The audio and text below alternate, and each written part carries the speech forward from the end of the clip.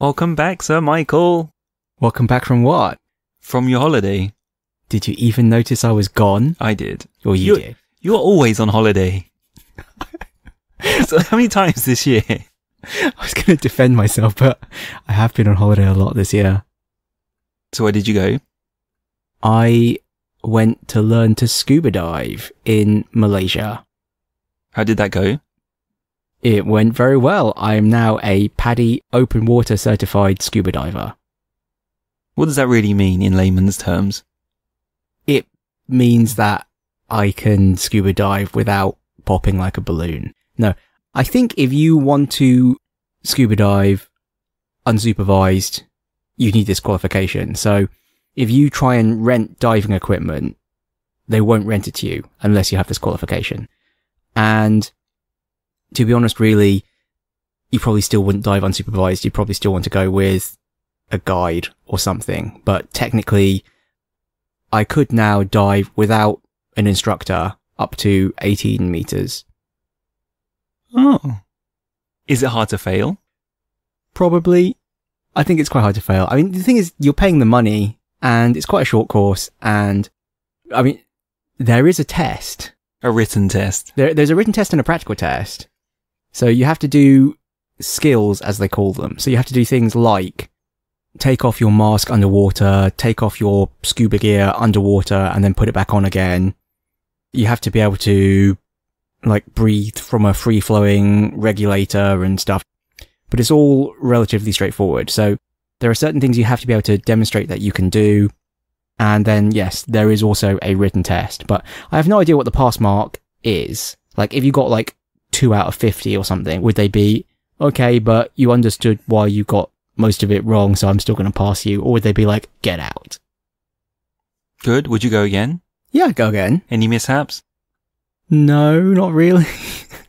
Sorry to be disappointing. I mean, it was serious business in that you arrive, you go to the diving school, they hand you this book about scuba diving, and they're like, read chapters one and two and complete the exercises by tomorrow. So like, you do have to read this book. And the first chapter is the wonderful world of scuba diving. It's the underwater world. It's amazing. Things may appear to be closer. There's loads of fish. There's the magical sensation of floating and stuff like that.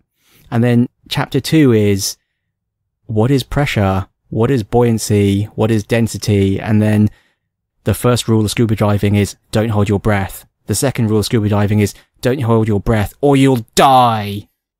Did you try? No. the first rule of scuba diving is don't hold your breath. I think if you hold your breath, you just fail the course. Well, you fail the course because you die. No. Why can't you hold your breath? Because the pressure underwater is greater than at the surface. So if you inhale underwater, your lungs fill up to a normal capacity, like they would on the surface, except that the volume of air is the same as it would be on the surface, except that the volume of air that's in your lungs, if you took it to the surface, would be much, much bigger. So if you hold your breath and then ascend, because you'll float up because you become more buoyant because you know you've got air in your lungs and you're occupying a greater volume, well, that air will expand and you will pop like a balloon. Well, you won't really pop like a balloon because you're a human and you're much sturdier, but what will actually happen is that your lungs will rupture and then you'll start bleeding horribly internally and it will be a bad time in general. So don't hold your breath. And then after that, the next chapter is more cheerful again, but then the chapter after that is nitrogen will dissolve in your blood and when you go to the surface, your blood will fizz like a fizzy drink and you'll die. Why would there be nitrogen in your blood? at higher pressure, I think gases become more soluble or something. How do fizzy drinks work? Rhetorical question. I'm hoping. okay, I was waiting for an answer, but fine. Let's say it's a rhetorical question. So, if you go deep underwater, nitrogen will start to dissolve in your blood. But when you ascend again and are at a lower pressure, then your blood won't be able to hold as much dissolved nitrogen, so it will turn back into a gas, and the bubbles, depending on where they form, could do very bad things. So, have you heard of The Bends, Oh yeah. the Radiohead song? And mm-hmm. Thanks. and also in reference to decompression sickness, which is nitrogen bubbles forming in your, well, in your blood. So if they form in your joints, then you'll be unable to flex those joints. And if they form in your brain, then, you know, you might just die. So that's why you need this license before you can just rent scuba gear, because you literally just might die. But having said that, it's actually completely fine. You know, no one died on the strip, so Good. No drinking, no smoking either. No drinking, no smoking, no holding your breath. Sounds like fun. Sounds like fun you say with like extreme skepticism. Yeah. It was nice. It was on like a tropical island called Perhentian. There was like this beautiful beach. The water was really clear. It was really warm. In the evening, there were beachside bars that could serve you non-alcoholic drinks if you wanted to adhere to your scuba diving manual. And they had a crazy like fire juggling dancing show every night. In fact, there were two bars on the beach and they both had a fire show and it was clearly the case that one of them had had this fire show and everyone started going to that bar. So the other one had a fire show and then they would just compete to have the more outrageous fire show. They were literally toiling around like burning sticks and like burning yo-yos and then like throwing them to each other and then crazy giant spark things. I don't know. It was mad. Very entertaining. Are you okay to talk about your doctor's trip tomorrow? No. Well, I'm going for a colonoscopy tomorrow because I'm full of shit. Well, no, actually I'm not. I'm literally not. That's the problem, right? That's the problem I'm having right now. There's literally nothing inside me because I've not been able to eat anything for like three days. This is dreadful. So this is gonna be a mad episode then. I've been instructed to only drink clear fluids. I was agonizing over whether I was allowed to drink coffee. It's like, is this clear or is this opaque? And then you just had some chicken stock. it specifically said clear broth. Although was the was the chicken stock too cloudy? I don't know. Yeah, this is my life at the moment. I am going for a colonoscopy because it turns out my family has a history of colon cancer. I thought you said because your company's gonna pay for it. That's the other reason. Yeah. My family has a history of colon cancer and we were advised to all get checked. Also, you know, it sounds kind of gross and your natural inclination is not to talk about it, but this is literally how TotalBiscuit died, right? He literally died of colon cancer and he literally didn't get it checked because he thought it was gross to talk about. So, oh really? yeah, did you not know this? He didn't get it checked because it was gross to talk about. Well, he he said he was having some like, you know, trouble on the toilet, but he just never went to a GP because he just thought it was kind of gross. And then you might think it was just constipation or hemorrhoids or something, but in his case, it turned out to be colon cancer. Maybe I should get it checked then. What are you full of shit too? I always just think it's constipation or something else or IBS. Well, it, it, you know, obviously it probably is, but I don't know. Will your medical insurance cover it? Should do. It's very, it's a very slick system. I don't need, I just need to put the receipt and a piece of paper. I don't even need to say what it's for or anything. The receipt is enough and I just say signed and they'll, they'll process it and they'll, really? they'll discount the amount they need. It's really fun. It's, it makes me want to claim it.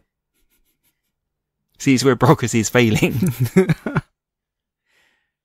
I think I meant to fill out lots of paperwork, but if you go to a panel doctor, they actually do the paperwork for you. That was my chief concern in selecting a doctor. I was like, who's on the panel doctor list? But everyone says you get better service if you pay yourself. Yeah, you probably do. Anyway, enough of my medical history.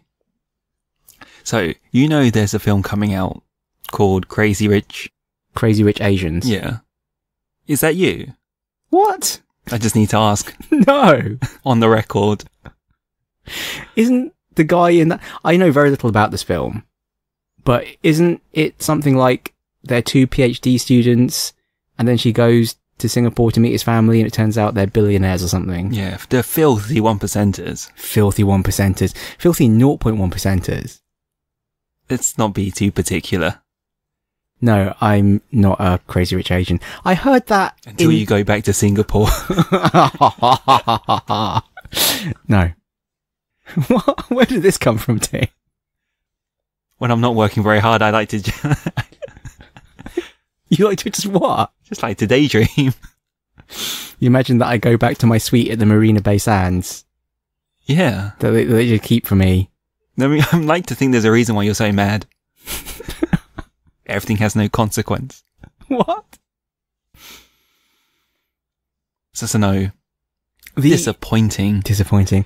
I did see an interview. Well, actually, I say I saw it. I saw on my Facebook feed with the volume off an interview where they had the, so- you know, they do this on Facebook where they autoplay the videos, but they don't play the sound. So everyone knows that they do this and they just put the subtitles at the bottom of the video. So I watched one of those and he was talking about how disappointed his parents were that he was a stand-up comedian instead of being a doctor or a lawyer. And I was like, yes, this, This what? you know, this is what it's like to be Oh, yeah. Asian, right?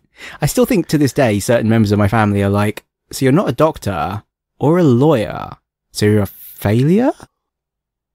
It's fine. I'm a one percenter. No, no, no. Is that what you tell them? no, I just smile and nod. You can't imagine submissive Mike. Submissive Mike, it's easier to just let people think what they want to think. Fine. You'll have your day. This is probably high Mac, Mike. It's probably even worse.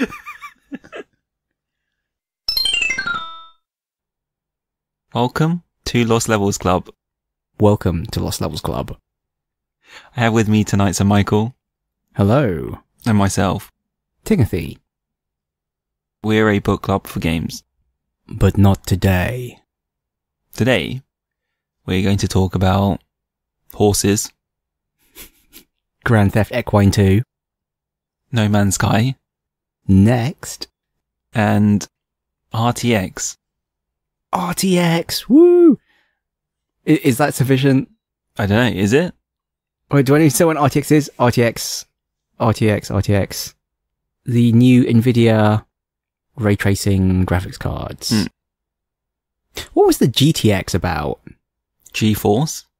Yeah, but did it actually stand for anything, or was it just like GT? You know, it was like raw, it's fast, and now it's like RTX because it's like ray tracing. Yeah, because GT was a thing before GTX. and they just put an X on it Think so. because it's extreme. Sorry. Anyway, we'll get to that later. We can, yeah, we can talk about their naming convention going back to the 90s later. This is a world that is rich in depth and detail. All designed to be explored on horseback or on foot. As you live the fateful journey of a gang of outlaws on the run across America.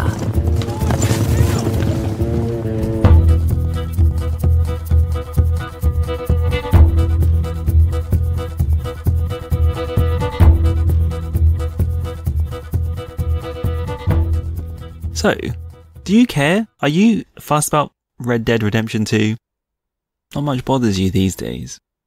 I seem to remember that when we played Red Dead Redemption, I said that I'd be interested in playing a sequel, right? Or a prequel, in fact. But actually, I'm not that bothered. I'll play it if I have a reason to play it, like you encourage me to play it or something, but I don't know. For the multiplayer. For the, uh, it's just, I have no doubt that it's going to be really good and that if I start playing it, I'll really enjoy it. But I'm not sure what would give me the impetus to actually start playing it.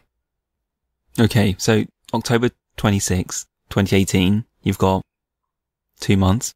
Two months to clear out my schedule. Yeah. Change your mind, really. I remember from the first one, there was a lot of just riding between destinations, and that was quite, Uh, fast travel. which you didn't know about. I didn't want to pay. I had to pay right for fast travel. No, you just set up camp and then said like, go to this destination and you just warp there. I totally didn't do that. Why didn't I do that? I don't know. I'm sure we talked about this in the in the book club app about RDR. But still, I think actually not fast traveling is way more immersive and you know, I think it is actually probably the better way to play the game. I mean, you don't fast travel in GTA, right? You can get a taxi. Yeah, but who does that? So I don't think it's wrong to never use the fast travel system.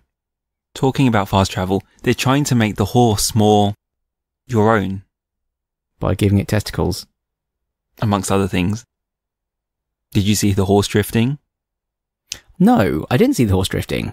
I did watch the trailer, but the horse drifting clearly did not make an impression on me. It's not horse drifting. You know, everyone's just had fun with the words, but it's the horse turning very quickly, but with a really slick animation. I, I mean, I did think it looked really good. I remember that when we played Red Dead Redemption, even though it was a last gen game, I thought it looked really good. And then I saw this trailer and I was like, oh no, wait, this looks really good. The animation is extremely fluid. Like all these mechanics they're adding to it are pretty. They're only special because they're getting added to a AAA game. These mechanics are things that you see elsewhere. You've seen them already anyway, like having a base camp, having more customizations on your, on your horse, having more interesting landscapes, which isn't just mountainous terrain or barren land. Hmm. I don't know, it's just so highly polished. They talked a lot about the wildlife and then interactions between different animals in the world. They talk a lot about trying to make it a living world.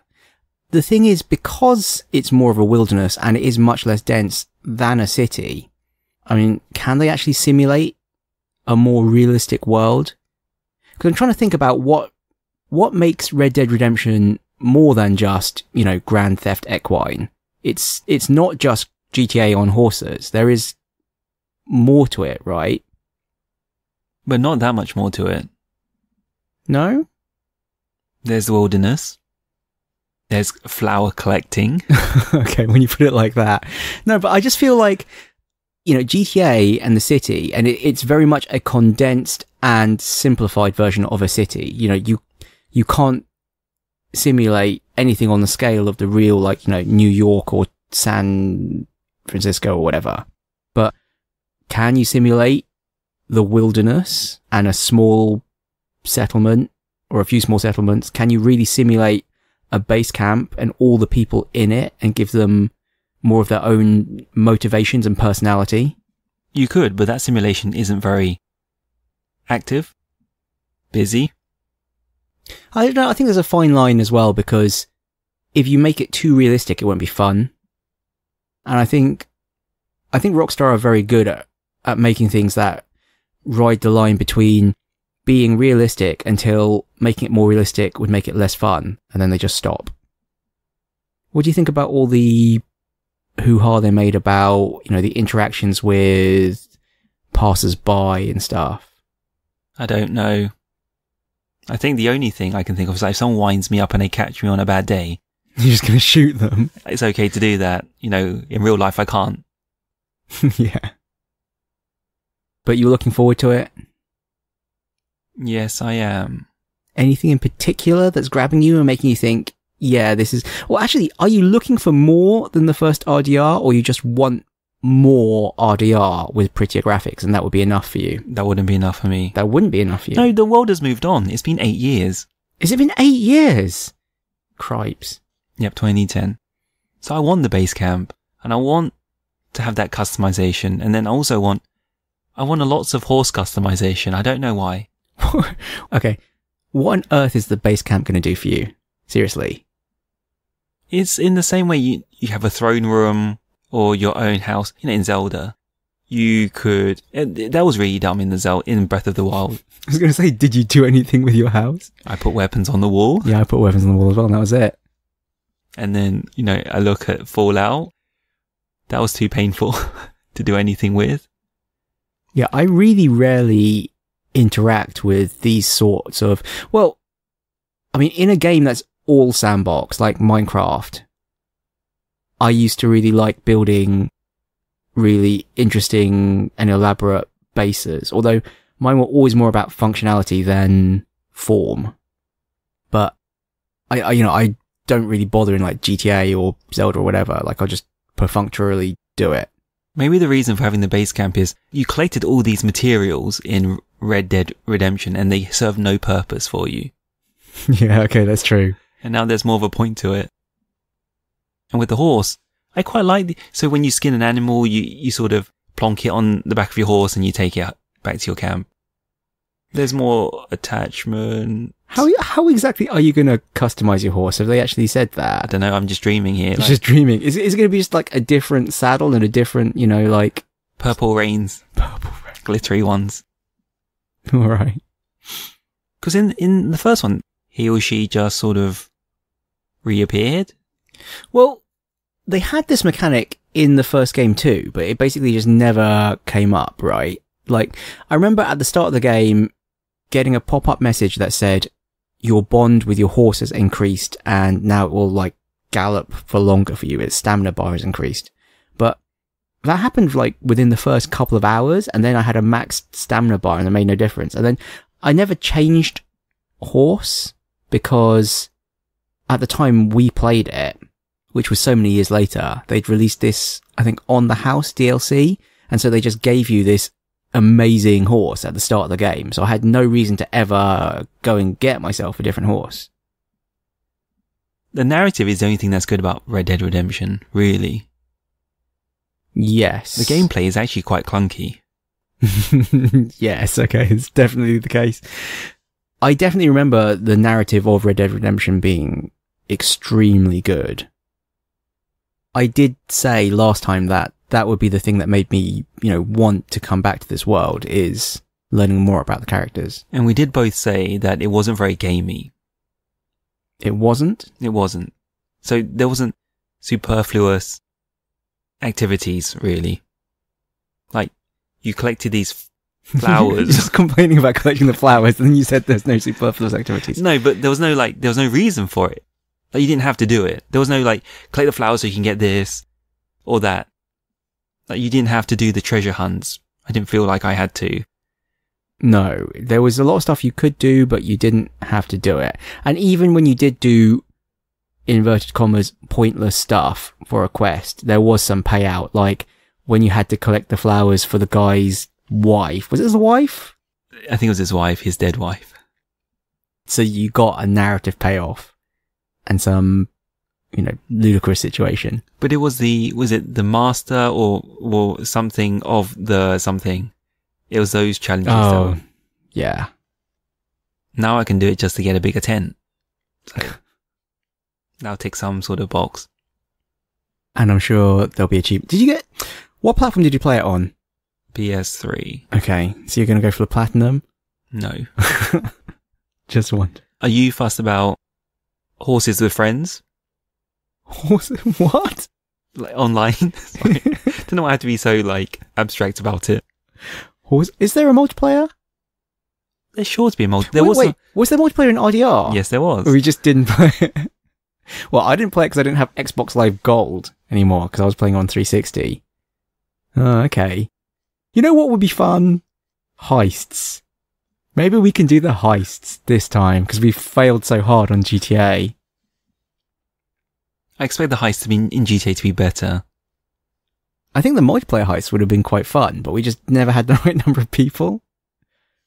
I'm hoping that's something they'll address where you don't have to fulfill the, you know, the player count or criteria. Or at least have matchmaking or something. Yeah, or they can, you know, they should be able to automate away that role. I guess so. I'm just imagining. if you've got incompetent friends, just kick them out and let the AI do it.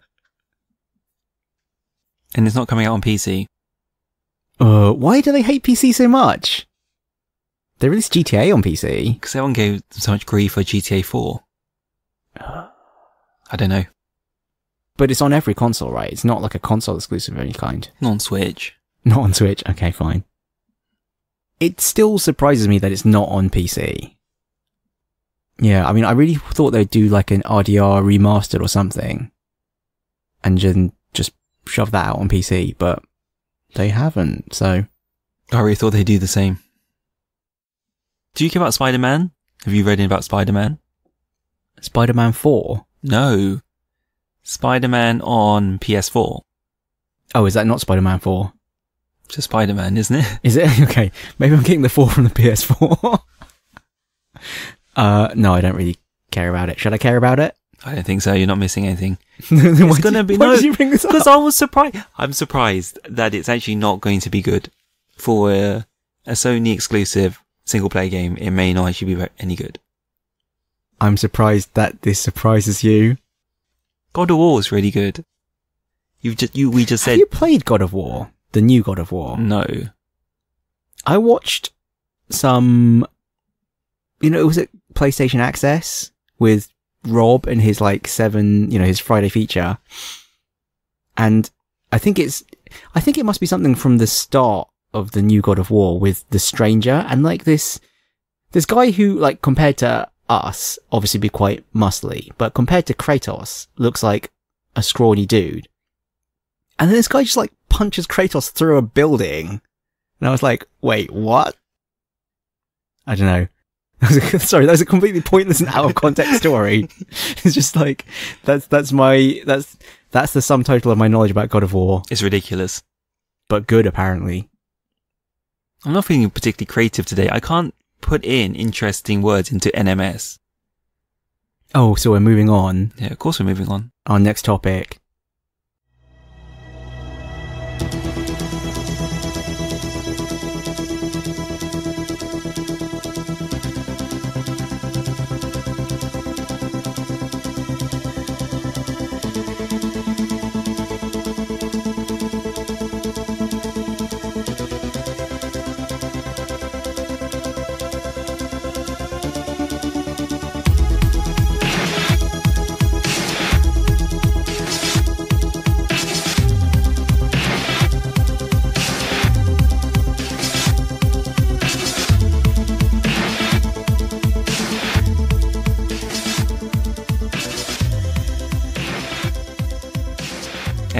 Next.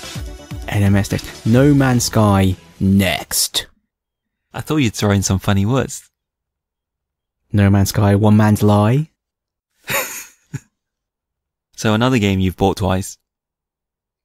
yes, I bought it twice. So good, I bought it twice. Wait, so good? At least you didn't buy it on the same platform twice. Oh, that would. Yeah, actually, you know what's really funny? One of the guys I'm playing it with did buy it on the same platform twice. For good reason.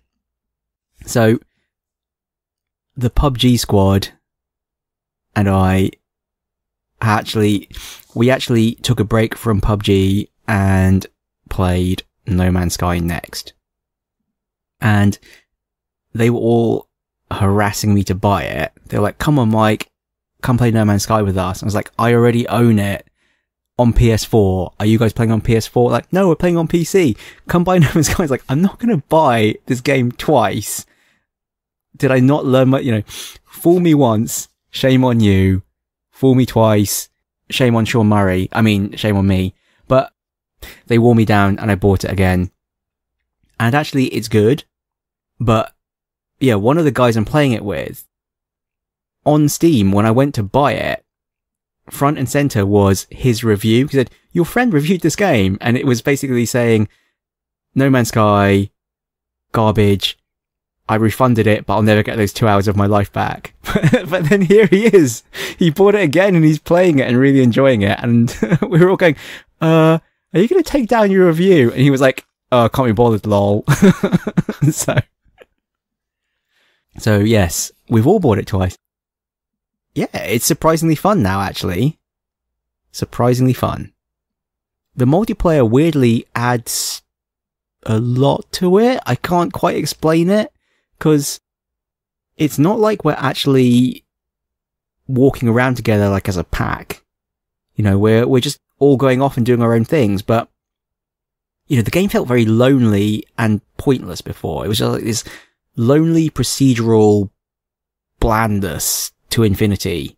And now you have friends to experience the procedural blandness with. Well, it's less bland, number one, because they've tweaked all the algorithms and it generates more interesting terrain. And now when you see something interesting, you can be like, oh guys, I found like a monolith or I found, you know, a drop pod or I found horrifying aliens that are eating my face. Please come help me quickly. And then they can fly in and help you. So yeah, even though it's still quite a solitary experience, the fact that your friends are there and you can chat to them and you can share things with them in real time, like you can all go there and you can help clear out this nest of aliens or, you know, fight off space pirates it does make it much more fun. Did you name any planets? No. Short answer. I think the galactic database thingy is not working properly, or at least it wasn't the last time I played it. So you could upload discoveries, but it was really wonky about who it thought had discovered stuff when you're playing in multiplayer. And there's just always more planets and always more animals and things. It's just such a faff. It's like, why should I bother naming this particular planet? There's millions more. You know, what makes this planet interesting enough to name? One of my friends did try to name a planet shits on fire, yo. Cause you know, I think you always start out on a total garbage planet. Cause, you know, they need to give you some impetus so that you feel like, you know, there's some element of danger. So you always start out on some total trash planet. So I started out on a really, really cold planet and he started out on some other planet where he like stepped outside his ship and then just like, like just burst into flames and like, uh, so yeah, he tried to call it that. And then the profanity filter blocked him and he was like, oh, screw this planet naming business. I think he did name his base Potato Base. And so, to be honest, that's the only base I remember because it's called Potato Base. All the other bases are just called like generic Planet Something base. And like, I can't even remember which base is my base. Did you build any cool bases? I built a shack because you had to build a base to complete a quest. So I literally just, I built a shack. And I just can't be bothered to gather all the materials required to build a nice base. I'll probably do it eventually. I mean, who am I kidding? I'll probably lose interest and do something else, but I might do it eventually.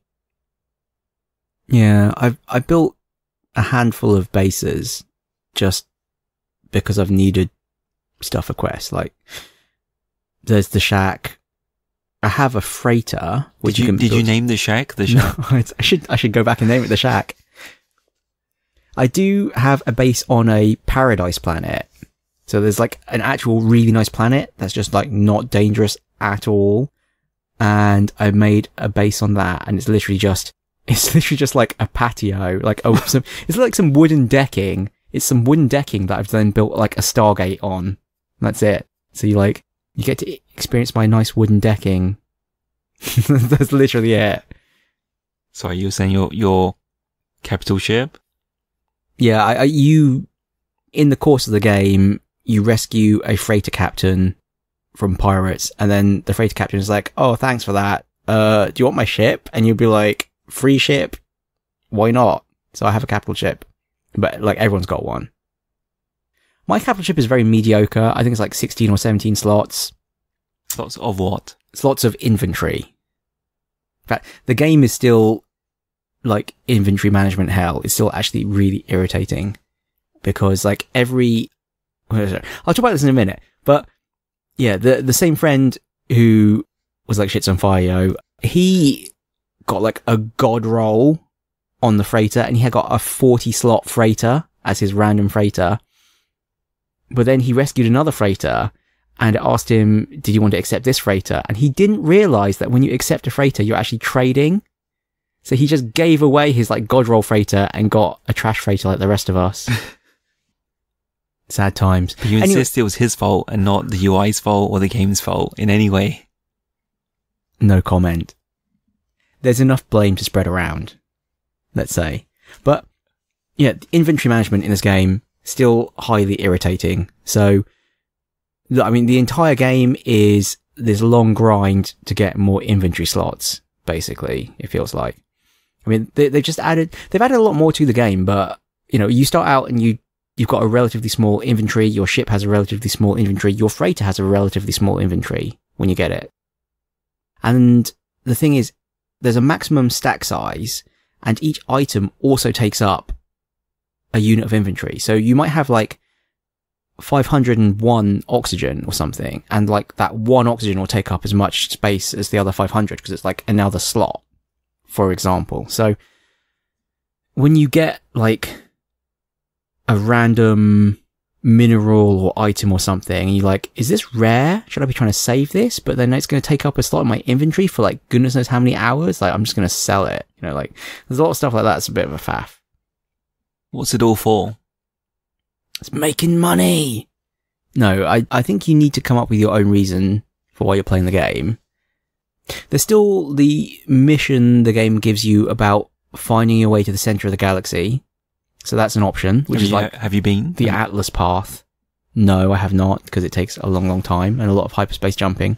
But yeah, there's this thing called the Atlas path and it will help you get to the center of the galaxy or you can just ignore it and just go there yourself. And once you finally make it to the center, it actually just takes you to another procedurally generated galaxy.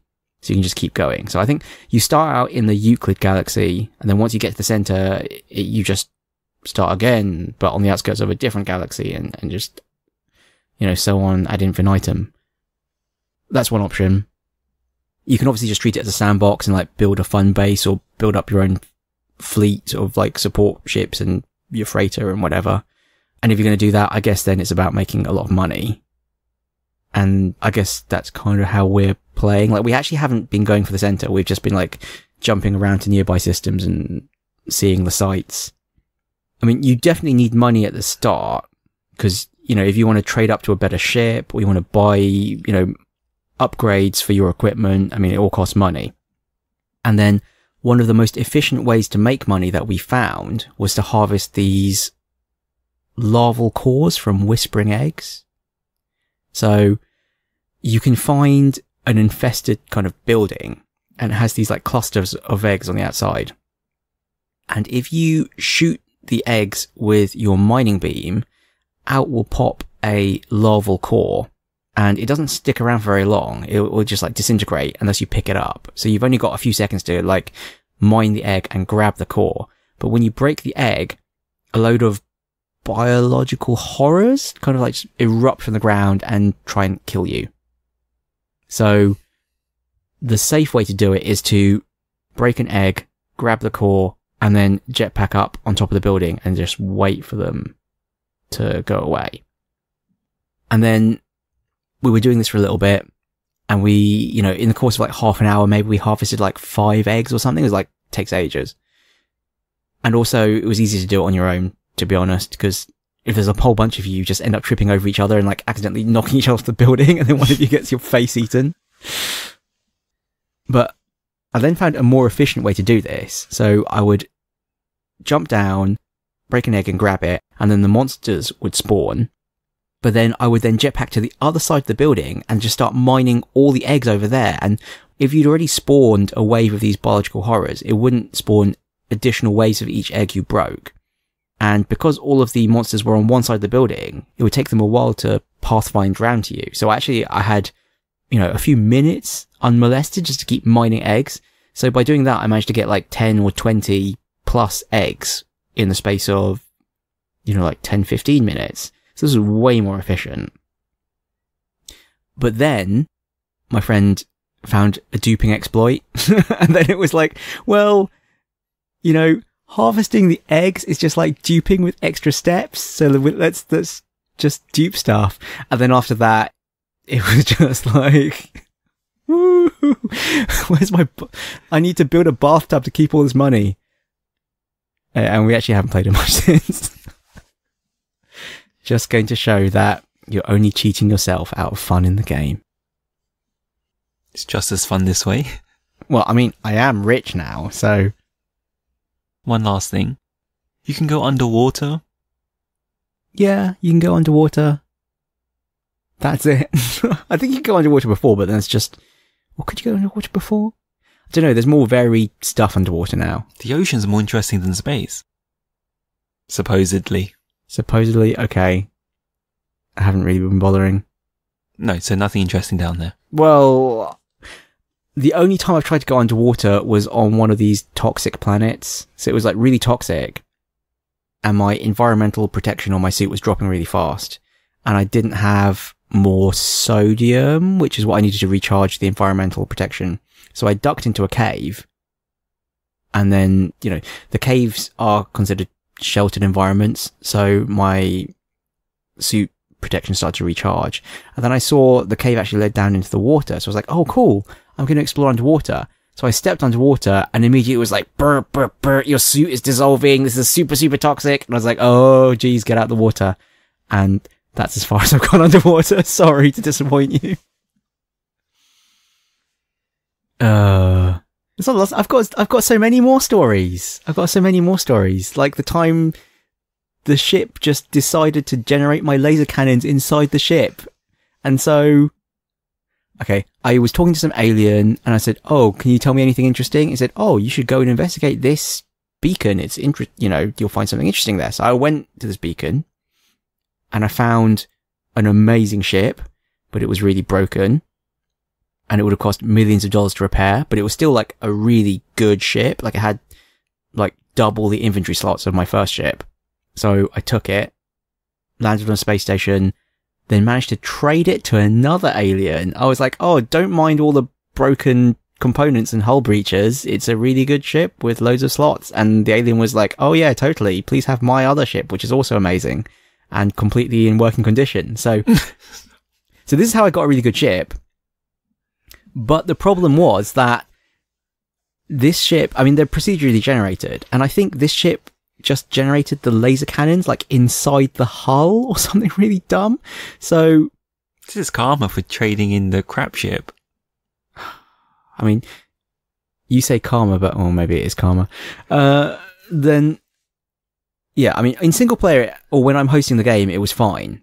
But when I was playing multiplayer and not hosting, whenever I shot the main guns on the ship, it just damaged the ship. It was just like, why are you hitting yourself? Why are you hitting yourself?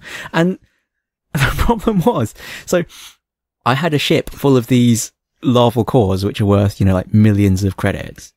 And then, you know, I'm taking off from the planet and it's like alerts are going off and it's saying hostile subspace scan detected and space pirates had come in and then an alert popped up and said, you know, valuable cargo detected. So they're trying to shoot me.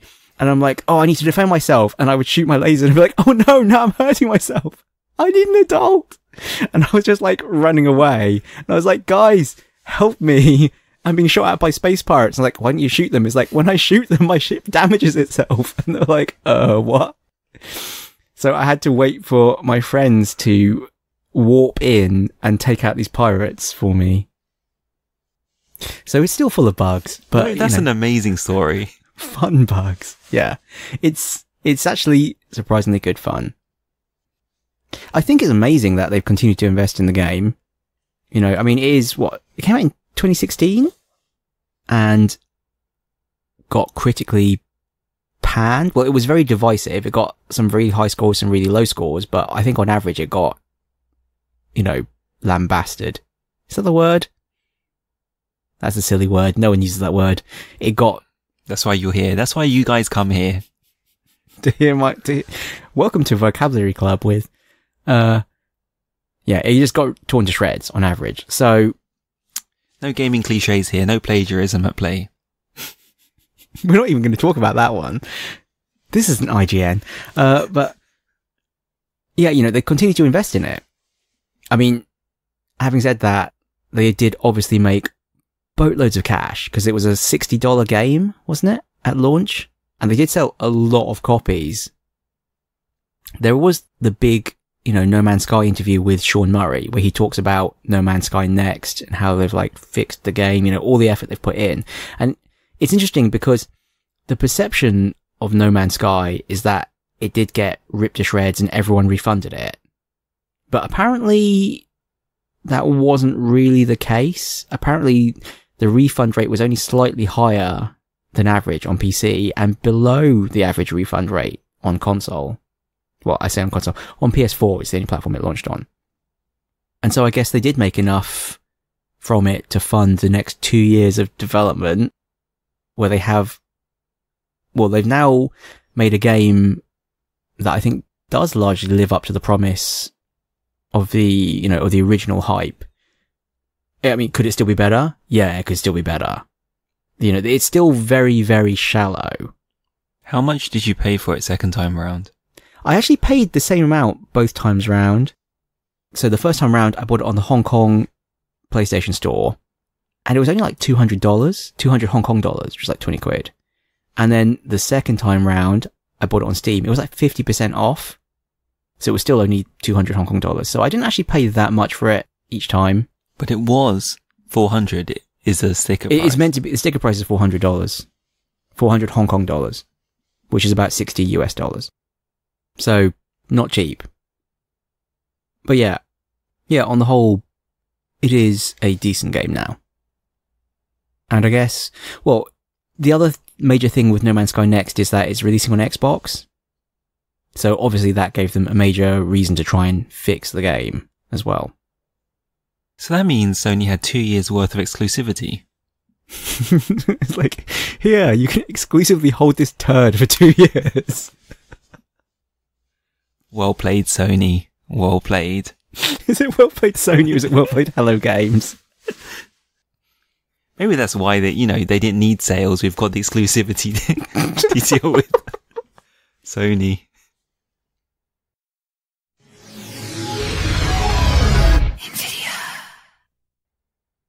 RTX. RTX, RTX. I don't know. Is, is this something you chant? Can be. Why not? I don't know, because it's a silly set of three letters.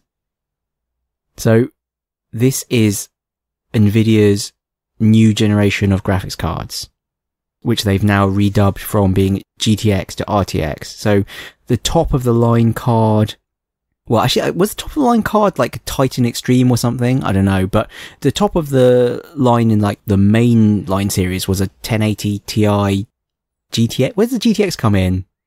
It's always GTX. G- okay, a 1080 GTX, and there's a TI in there somewhere as well. It used to be GT, and then there was GTX, and now it's GTX Ti.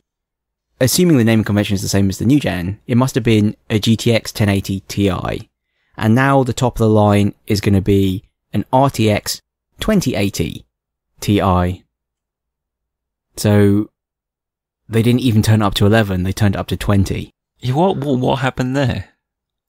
Uh, 20's bigger than 11. 30's bigger than 20. Yeah, video card naming is just strange and random. These num- numbers aren't as high as 6690, Hmm, what graphics card did I have before? I had a- 6750, 6980. I, I had a Voodoo 3. That was my first, Wait, this is fun already. yeah, th- that is my first 3D card. I had a Voodoo 3. Uh, with the 3DFX chip? Yeah, 3DFX Voodoo 3. And then the next PC I had, I did switch to Nvidia. So I had a GeForce 3. I think I had a 20 in it. Was it like 320? No, that seems too conventional. They had weirder names back then. No, no, no. This is early on. I think it was a three digit thing. Because the one after that I had was a, oh, cripes. I, I, at one point I had a 6800 GT. That's quite recent though, isn't it? It's like 10 years ago. Wait, wait, wait. So the first card was at the 3D, of the Voodoo.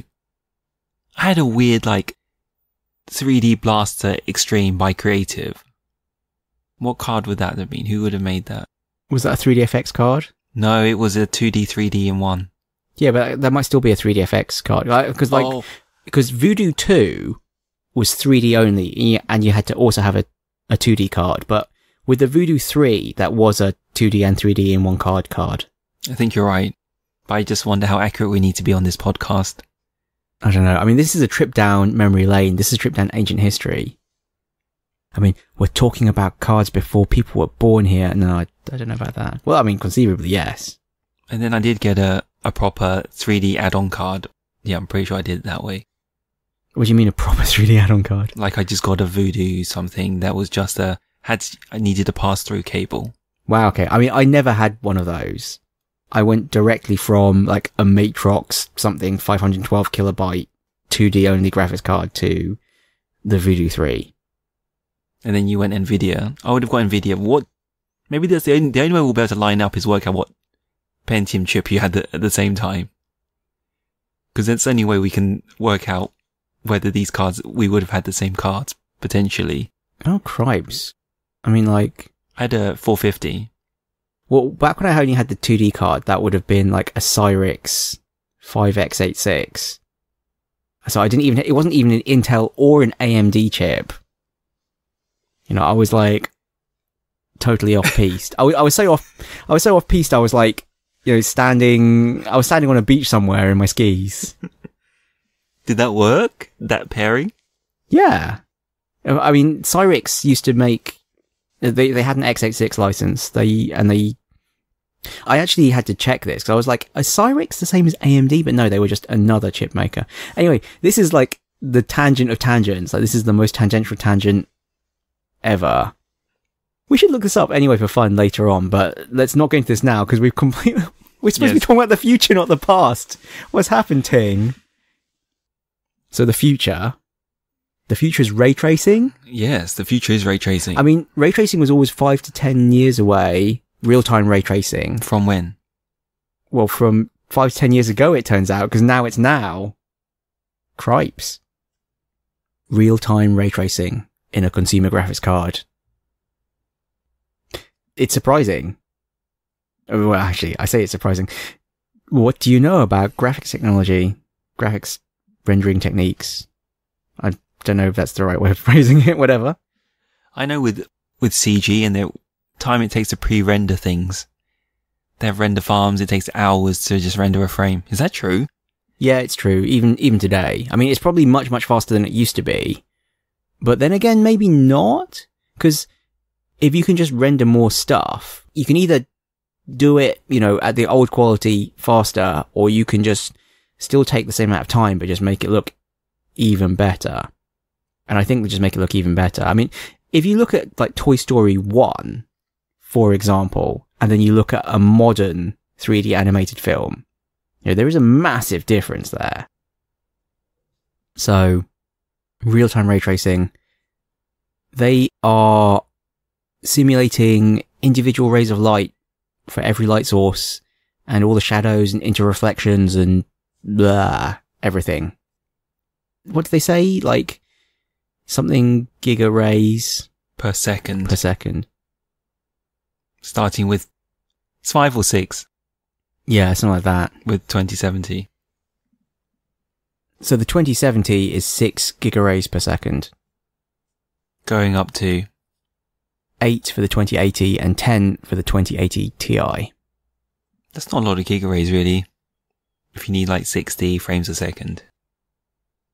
I mean, the, with all the talk of the ray tracing, I assume it's also way more powerful than the previous gen for just, you know, the old style rendering too. Oh, that's where there's a lot of discussion about are they trying to hide the fact they're that much more powerful because they've introduced a, a bunch of new benchmarks or new measures. Yeah, that's the thing, because if you're not doing any magical ray tracing stuff, is it going to be significantly better than a, It's like 50%, I think. yeah? Okay. But what I've read is that I did, they're hoping that games will use a combination of old techniques and ray tracing, Yeah, I think you would have to.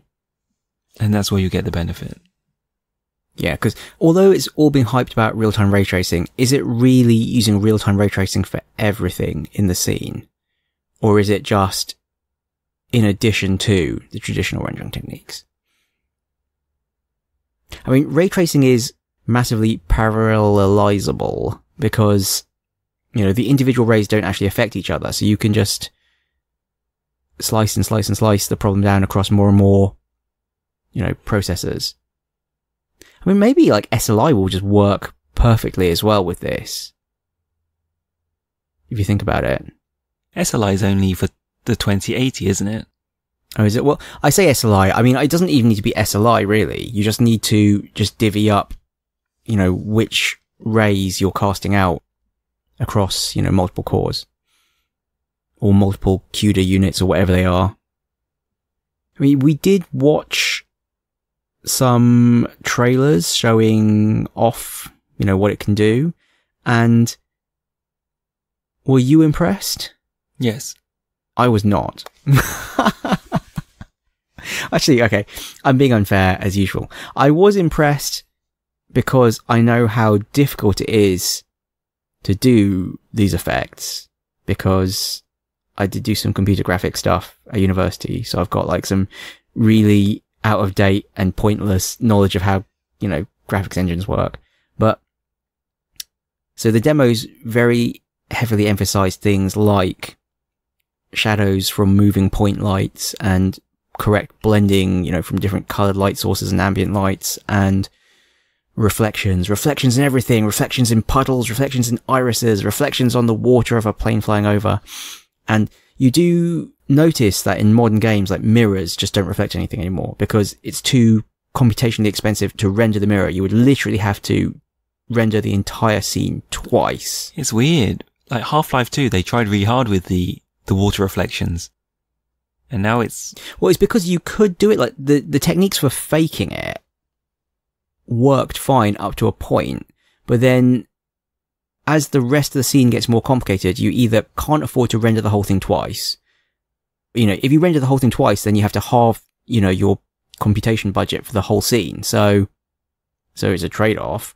Or, you know, you can fake it, but the ways of faking it just, certain effects just can't be faked in that way. And so, yeah, it, it literally got to a point where in a modern game now, you'll just notice that the mirrors never reflect anything.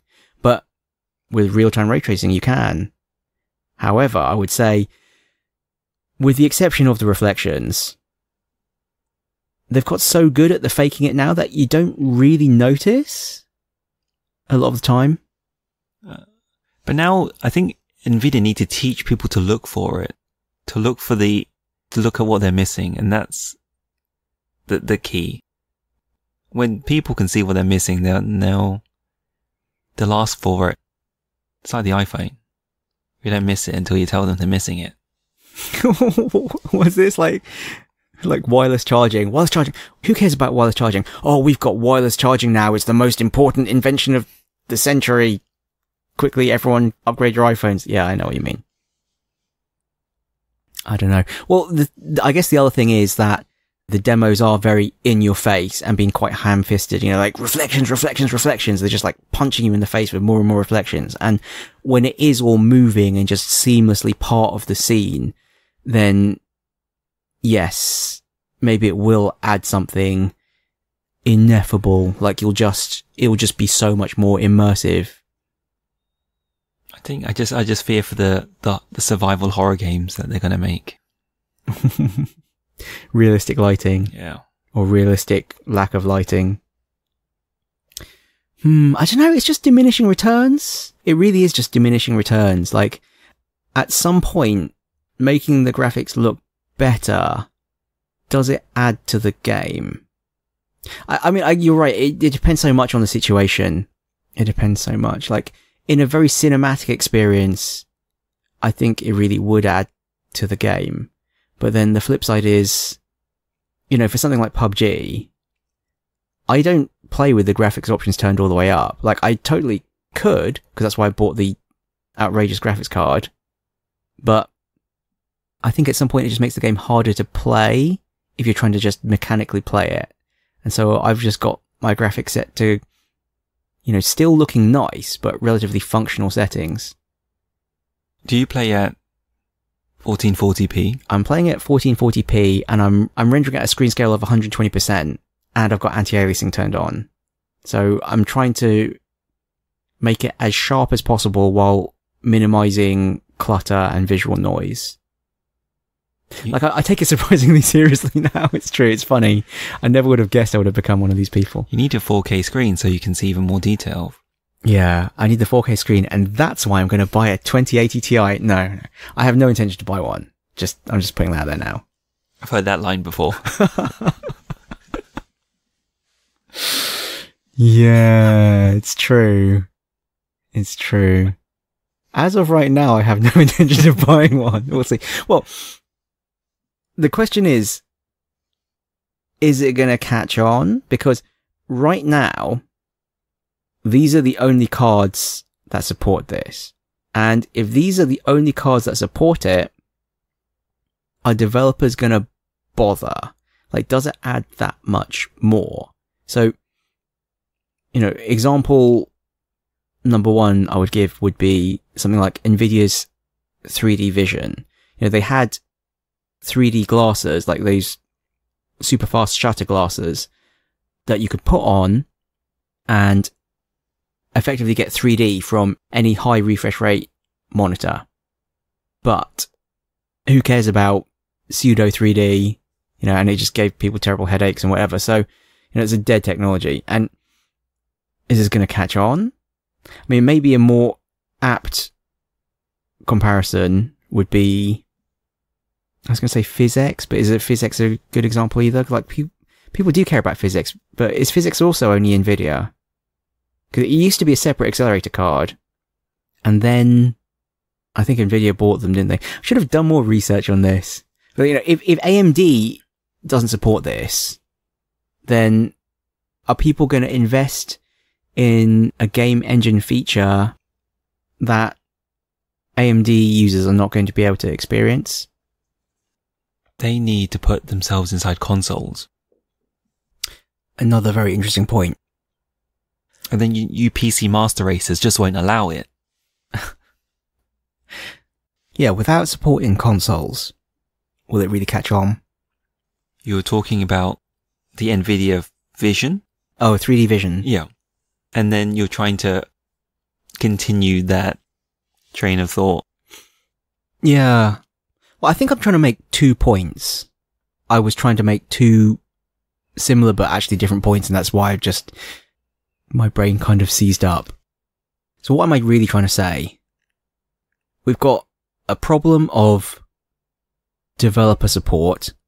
If it's an NVIDIA only technology, will people really make the effort to support it if it can't be done on AMD cards? And maybe Nvidia just actually have such a large chunk of the market in the PC space that actually that's totally fine. But you pointed out there needs to be console support. And the consoles are all using AMD GPUs this generation. So yeah, you know, as much as I like to think PC games matter, and they do, consoles consoles are actually much more mass market. Consoles matter more still, I think. Sadly. I don't know, actually. You may not.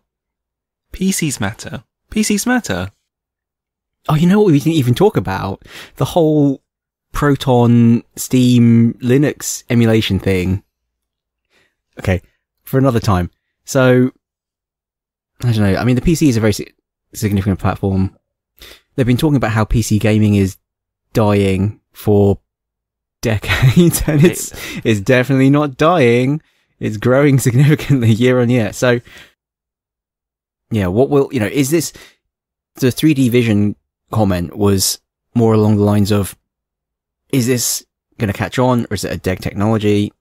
For 3D vision, I kind of wanted to make the analogy between, you know, the 3D TVs and 3D vision. They were using the same kind of technology, the shutter glasses, and it just didn't catch on.